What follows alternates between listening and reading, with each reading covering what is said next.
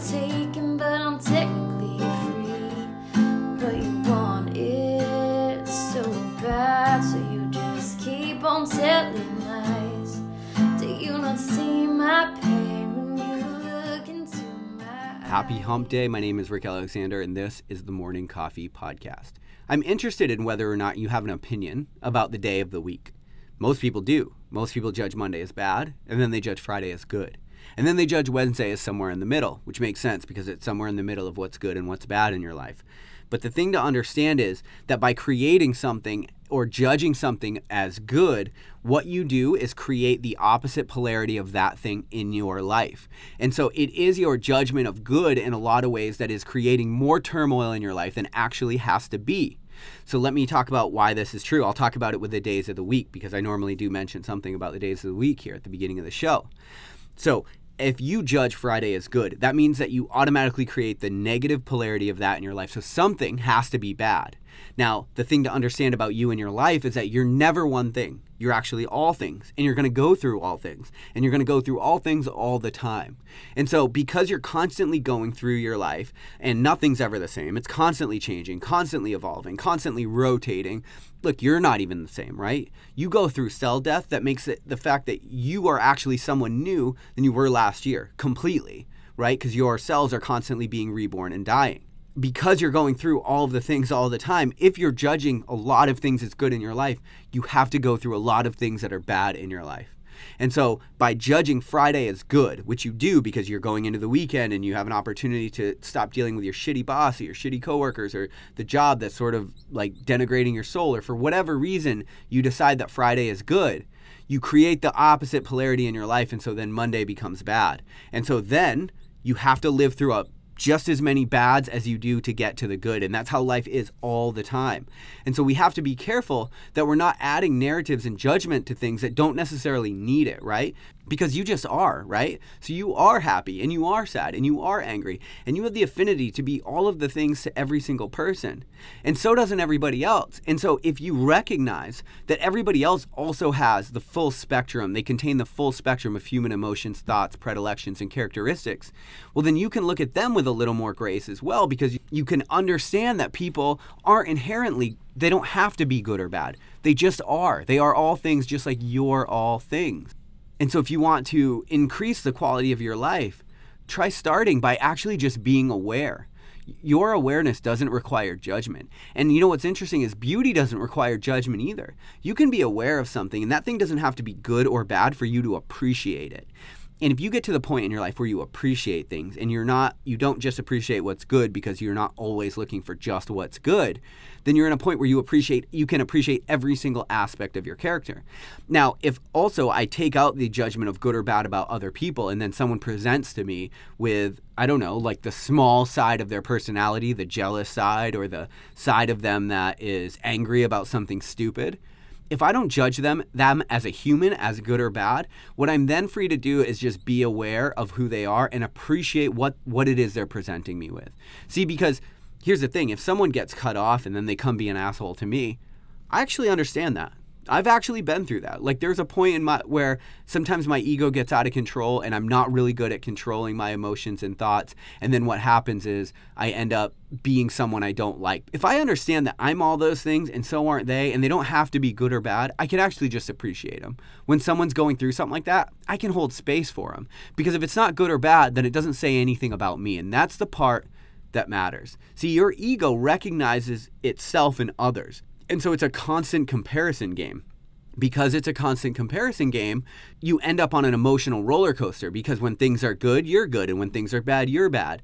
And so by judging things as good or bad, you give your ego an opportunity to identify itself through them.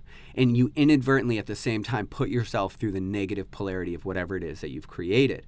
And so some things are good and some things are bad. But as a general rule in your life, if you can separate yourself from the judgment of good or bad, especially with things that don't need it, like the day of the week, you can just appreciate it for what it is. And then you're free to do whatever you want. But if it's bad, it's much harder to enjoy. But if you could just appreciate it for the the part of the human side of you that has to struggle and grind and work through something when you're tired. You know, who knows what it you can reframe it in any way that you want.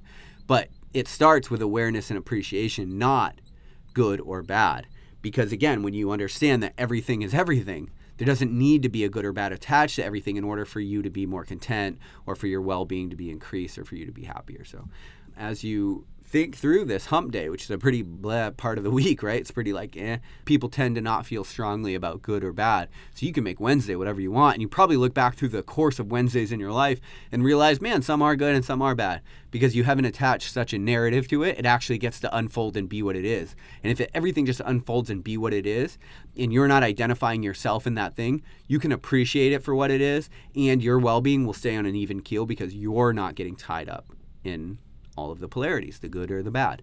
So if you can understand this one and you can work through it in your own life, it will it'll change your life in really, really massive ways. So I hope that you do. I also hope that you continue to tune in. I love you guys. We'll talk tomorrow with a long form episode where me and Ryan Munsey talk about how high performers think in our new uh, lecture series that we are bringing to military bases around the country. Love you guys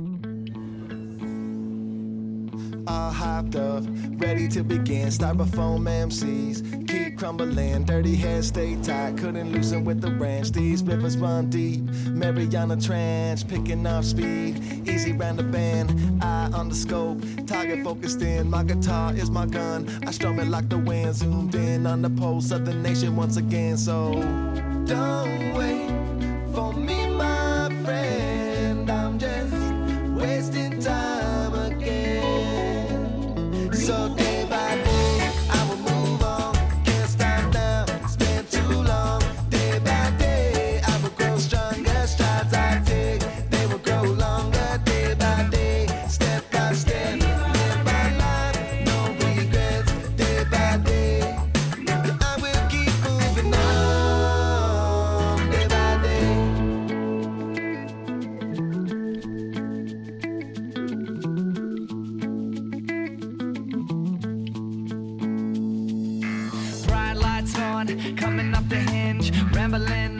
a Led Zeppelin. I got my sword and my pen like Madmartigan.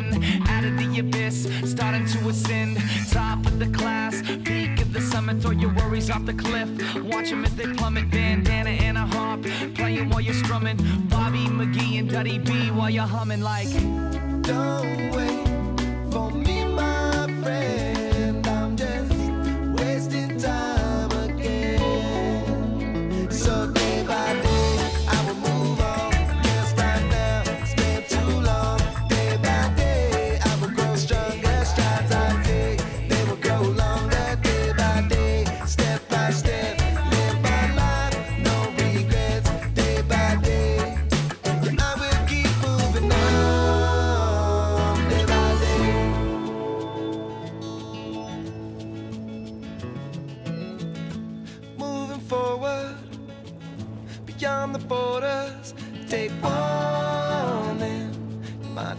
day's gone.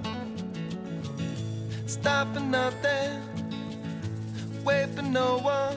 Take warning, my day's gone. Take warning, my day's gone. So day by day,